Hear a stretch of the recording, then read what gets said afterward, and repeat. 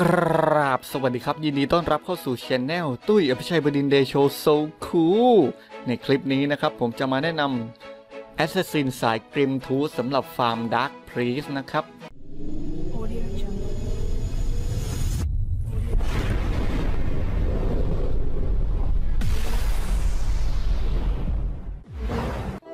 มาดูการอัพ skill กันก่อนนะครับ ในขั้น class Thief นะครับ อัพ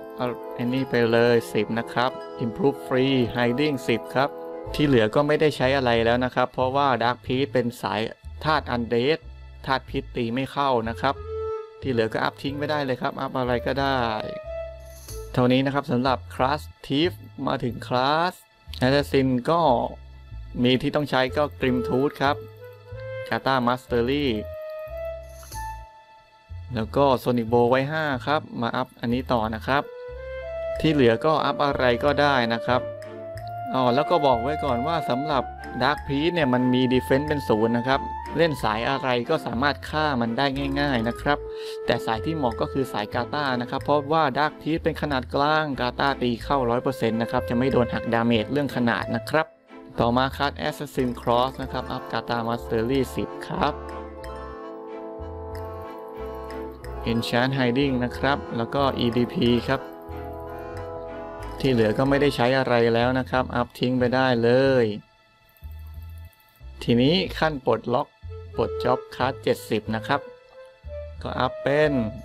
Enchant Hiding 10 ครับ เมื่อเรา Hiding แล้วจะวิ่งเร็วขึ้นนะครับ กับ Advanced Katar Mastery ให้เต็ม 20 ครับ Enchant Deadly Poison ครับ ที่เหลืออีก 5 แต้มมาเอาไป Improve ฟรีครับจะได้วิ่งเร็วขึ้นนะครับ เท่านี้ครับ ในช่อง skill auto ใส่เป็น EDP นะครับ Grimtooth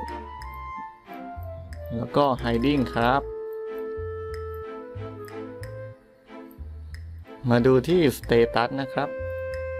ก่อนอื่นไปดู Dark p e a k ก่อนนะครับว่ามันมีค่า Flee เท่าไหร่ เราควรอัพฮิตไว้สักเท่าไหร่นะครับ ถึงจะตีมันโดน Dark Priest AGI 41มีค่า Flee อยู่ที่ 104 ครับ เราอัพฮิตให้เกินสัก 104 เราก็จะตีมันโดนแล้วครับ ดูค่าฮิตนะครับ ตอนนี้มีอยู่171 ค่าฮิตเพียงเท่านี้ก็สามารถกิมทุตโดนดักพีทแล้วนะครับ เรามาลงที่ STR หรือสเต็งกันก่อนครับ 99 ถ้าหากใคร ATK ยังน้อยนะครับ แนะนำอัพเด็กไปเยอะๆนะครับ ทุกเด็ก5 มันจะมาเพิ่ม ATK ให้เรานะครับ นี่เพิ่มเท่านี้นะครับ เด็ก 5 ATK เพิ่ม 1 นะครับ แต่ถ้าใครมี ATK สูงอยู่แล้วก็มาอัพอินนะครับอินจะช่วยให้เราเพิ่ม SP Recovery ครับ Mana เรา SP เราจะเด้งเร็วขึ้นนะครับ เพราะเราใช้ skill ในการฟาร์มนะครับ เราจะไม่ต้องมีการเด้ง SP ที่เร็วรวดเร็วนะครับ 99 2 อย่างเลย แล้วก็ไปลง Dex ครับ สัตว์เลี้ยงที่ใช้ผมก็จะใช้เป็นนกเพนกวินนะครับ มันก็จะช่วยเร่ง SP ให้เราเพิ่มเร็วขึ้นนะครับ มาดูที่อุปกรณ์ครับ ใส่เป็นกาตาบัตเทียครับหมวก แนะนำว่าให้ทำหมวกใบนี้นะครับมีไหนวะ แนะนำว่าให้ไปทำสคูฮูดนะครับสกอลฮูด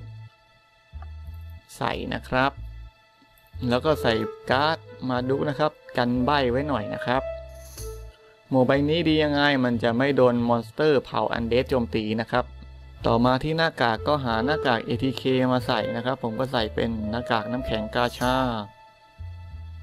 ปากนะครับก็ใส่เป็นปากกาชาครับเพิ่ม ATK นะครับ ไม่ใช่ ATK เพิ่มเป็น Pen 4%นะครับ อันนี้ก็จะไปเพิ่ม damage ให้เรานะครับ หน้ากากอันนี้ก็จะเพิ่ม ATK 30 ATK 3%ปีกข้างหลังใส่เป็นปีกแดงนะครับ หางก็ถ้าไม่มีของกาชาเลยพยายามหาของที่มันบวก ATK มาใส่นะครับ มาฝั่งซ้ายครับ ไม่จำเป็นต้องใส่เจาะเกราะ Ignore Defense นะครับ เพราะ Dark Priest Defense เป็นศูนย์เราก็หาโล่ที่บวก Status STR in อะไรพวกนี้มาใส่ก็ได้ครับ หรือจะเป็นโล่ที่บวกการเร่ง SP ขึ้นก็ได้นะครับ แล้วแต่สะดวกนะครับ ผมก็จะใส่เป็นโล่กาชานะครับเกราะใส่เป็นไทขั้น 3 ครับ เสื้อคลุมก็ไม่ต้องหาเจาะเกราะมาใส่ครับ ใส่เป็นกาชาได้เลย หรือจะใส่เป็นอันนี้ก็ได้ เราจะได้ STR มาอีกนะครับไหนวะ SCR เมื่อเราอัพขั้นนะครับ รองเท้าแนะนำเป็นคู่นี้ครับชูเอามาเร่ง SP นะครับ จะช่วยฟื้นฟู SP ให้เรานะครับ เมื่อเราอัพขั้นถึงขั้น 3 ก็จะได้ฟื้นฟู SP อีก 5%นะครับ ในช่องแหวนผมใส่เป็นแหวนกาชานะครับได้ STR 5แล้วก็ ATK นะครับ หรือถ้าใครเจาะรูเครื่องประดับแล้วนะครับ ก็สามารถใส่การ์ด Ultraman ได้ มันสามารถทำ damage กับเผ่า Demon 8ได้แรงขึ้น 8%นะครับ Dark Priest เป็นธาตุ Undead แต่เป็นเผ่า Demon นะครับ การ์ดใบนี้ก็จะช่วยเพิ่มความแรงให้เรานะครับเดี๋ยวผมใส่ไป 1 ใบละกัน อ่า เป็น Glove นะครับ Glove Glove ใส่การ์ด Ultraman นะครับ หลังนะครับ ถ้าหากใครมีโบอันนี้มันจะทำ damage ใส่ monster ขนาดกลางได้แรงขึ้นนะครับ ผมใส่ไปเลย ตอนนี้ ATK ยืนพื้นอยู่ที่ 3,600 นะครับ ค่าฮิต 309 Rune นะครับ Rune ผมยังไม่อัพนะผมจะไปทดสอบ damage ให้ดูก่อนนะครับ Rune ยังไม่อัพนะครับสำหรับหมวกใบนี้นะครับ สามารถมาทำเควสแล้วก็คราฟได้ที่ เมืองกลาสเฮมนะครับ ถ้าผมจำไม่ผิดจะเป็น NPC ตัวนี้นะครับ เดี๋ยวเราว้าไปที่ที่อยู่ของ Dark Priest กันเลย มาลองทดสอบ Damage กันก่อนนะครับ กด EDP ครับ Hiding แล้วก็โจมตี Dark Priest นะครับ เฮ้ย ไม่ใช่โซเบเกอร์สิ 25,000นะครับ อ่า ยังไม่ได้กินธาตุ เดี๋ยวกินธาตุก่อนนะครับ ธาตุอันเดสแพ้ธาตุไฟและธาตุน้ำนะครับ ผมจะกินธาตุน้ำเพราะราคามันถูกกว่านะครับ กินเข้าไป ได้ 36,000นะครับ ณ ตอนนี้ยังไม่มีรูน อาหารที่ทำเองที่แนะนำนะครับ ก็จะเป็นอาหารพวกวิ่งเร็วครับ เพิ่ม movement speed นะครับ แล้วก็อีกอย่างหนึ่งที่กินได้นะครับ นี่ครับ สร้างความเสียหายต่อเป้าหมายที่ไม่ใช่บอสนะครับ อันนี้ก็จะแรงขึ้นนะครับ เลือกเอาตามสะดวกนะครับถ้าให้ผมแนะนำก็จะเป็นอาหารวิ่งเร็วครับ จะได้วิ่งถึง monster ได้เร็วกว่าคนอื่นนะครับ เวลาฟาร์ม กินอาหารครบแล้วนะครับ เดี๋ยวลองกด EDP ดูแล้วดู ATK นะตอนนี้นะครับ อยู่ที่ 4,765 นะครับ เดี๋ยวลองโจมตีดักพีทดูนะครับ ได้40,000นะครับ40,000 4,600ครับ การ์ดที่แนะนำสำหรับเอามาฟาร์มดักพีทนะครับ ในส่วนของอาวุธนะครับ ก็มันก็มีเพียงSkeleton Worker นะครับ ที่จะโจมตีขนาดกลางได้แรงขึ้นนะครับ เพราะมันไม่มีการ์ดโจมตีเผ่า Demon หรือธาตุ Undead เลยนะครับสำหรับใส่อาวุธถ้าไม่มีงบถึงขนาดนั้นนะครับ ก็แนะนำเป็นพวกการ์ดเพิ่ม ATK นะครับ อย่างเช่น Rocker ตัวนี้ครับ Rocker สีเหลืองนะครับ ไม่ใช่สีตั๊กแตนเหลืองนะครับ จะได้ STR 3 ATK 20 นะครับ ผมเอาออกไปใส่ให้ดูแล้วกัน นี่ครับผมมีใบเดียวนะครับ อีกใบหนึ่งก็ใส่ Hydra ซึ่งไม่มีผลนะครับ แล้วเมื่อกี้ damage ผมยังเบาอยู่นะครับ ผมจะใส่ การ์ดอัลตร้าแมนเพิ่มไปอีกใบนะครับ ที่เครื่องประดับนะครับ ต่อมาดูที่ rune นะครับ ผมจะอัพ rune Grimtooth ในโซนล่างก่อนนะครับ เพราะผมไม่อยากไปวัดดวงกับ rune Grimtooth ชุดบนที่แบบต้องลุ้นโอกาสติด critical นะครับ พออัพครบ 5 จุดนะครับ มันจะมีโอกาสติด critical 25%นะครับ ซึ่งเมื่อติด critical มันจะทำให้ Dark Priest ตายแน่นอน แต่ว่ามันต้องลุ้นโอกาสเพียง1ใน 4 เท่านั้นนะครับ ผมจึงแนะนำมาอัพเป็น rune Grimtooth ด้านล่างครับ เป็น rune เพิ่มความแรงโดยตรงนะครับ ไม่ต้องลุ้น critical กันเลย จากตรงกลางนะครับรูนกิมทูธจุดแรกมาตรงนี้ครับ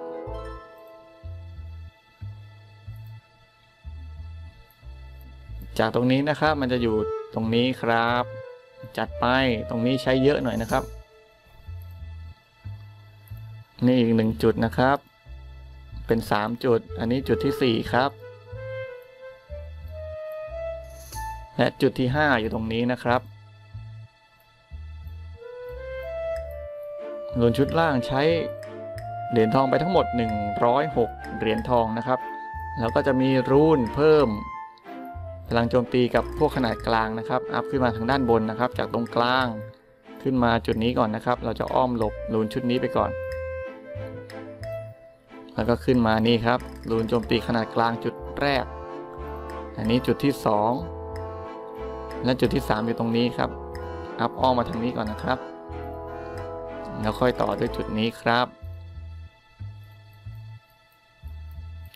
รูนเซตนี้ใช้ไปทั้งหมด 130 เหรียญทองนะครับ เราไปลองฟาร์มกันอีกรอบนึง โจมตีดักพรีสครับผม กด EDP ก่อน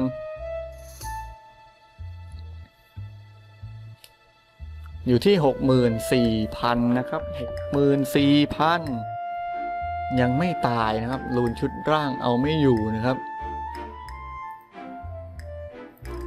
นี่ ATK ผมพร้อมกดบัฟแล้วอยู่ที่ 4,882 แล้วนะครับ ยังเอาดักพิษไม่ลงเลยนะครับ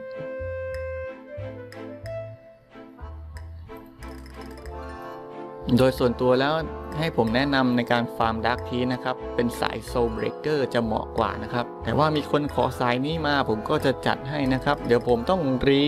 รีเซ็ตอีกรอบนะครับ เพื่อลองเป็น rune สาย Grimtooth แบบติด critical นะครับ ผมอยากจะทำแบบสายที่ประหยัด rune ที่สุดนะครับ เพื่อจะได้ใช้ได้ทุกคนนะครับ ตอนนี้ผมก็อัพ rune มาทาง Grimtooth ด้านบนนะครับ ก็มาเหมือนเดิมเลยอัพมาทาง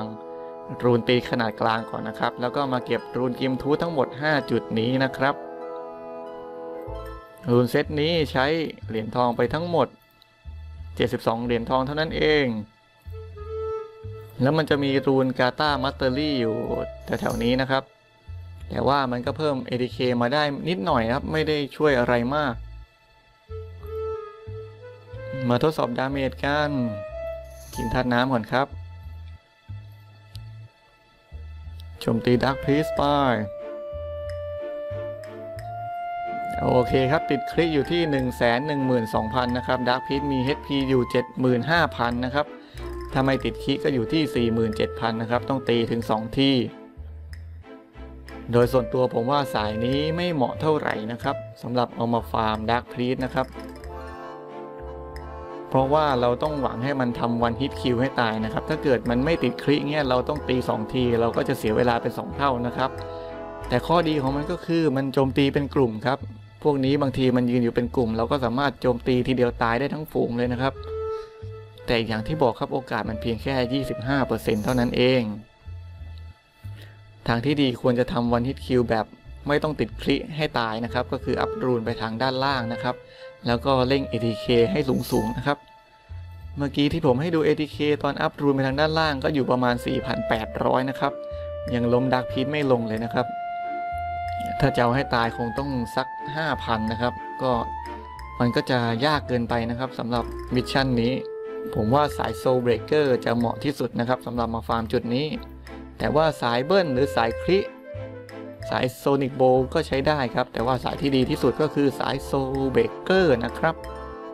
มันมันลำบากตรงที่เราไม่มีการ์ดมาใส่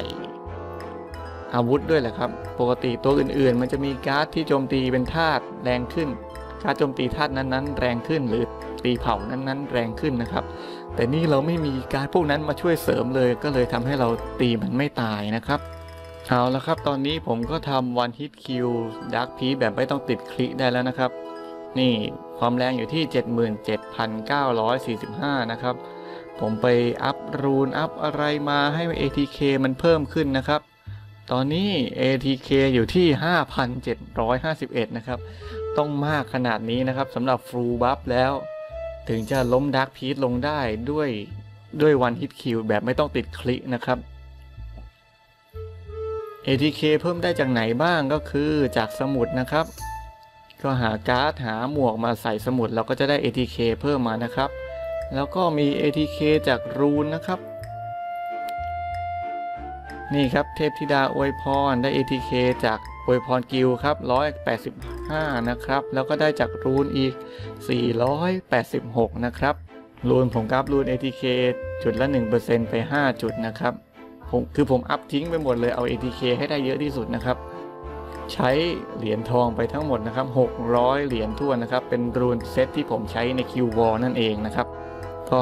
ถ้าใครอยากมาทางสายนี้นะครับ บอกเลยว่ามันเปลืองมากๆนะครับ ถ้าไปทางสายโซเบรกเกอร์จะประหยัดเหรียญทองมากกว่านี้นะครับ ติดคลิที 1 8 0 0 0 0นะครับ 1 8 7 0 0 0